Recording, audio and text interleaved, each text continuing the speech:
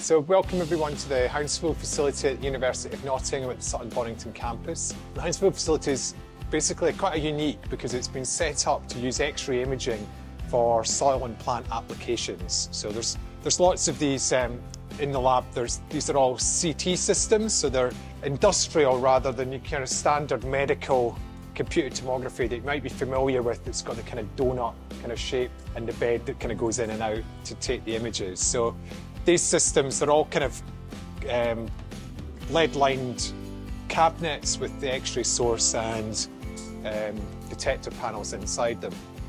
We've got four systems here. So we've got a small one, two kind of medium scale ones, and then there's a really big scanner in the back there. And the size of the system relates to the size of the object that you want to scan.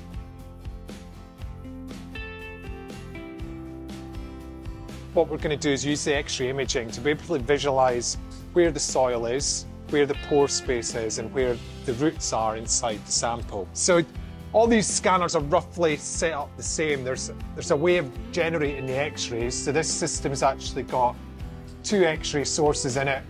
You only use one at a time, but the one on the bottom is for imaging smaller samples at higher resolution.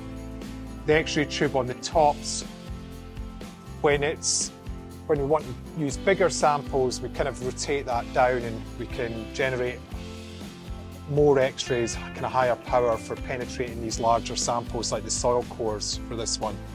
Just in front there, there's like a rotation stage. That's where the sample will get held. And then in the back, there's a big flat panel detector. So now the x-rays are on, on the screen here, the detector's basically just recording how many x-rays have passed through the sample and how many has gone round about it. So you get a kind of suggestion of the column here. You can see some of the root uh, shoots coming out the top there. So when we set up the scan, what happens is we take an image like this and the sample just rotates round a little bit, takes another image, and it just continues doing that until it's moved round 360 degrees.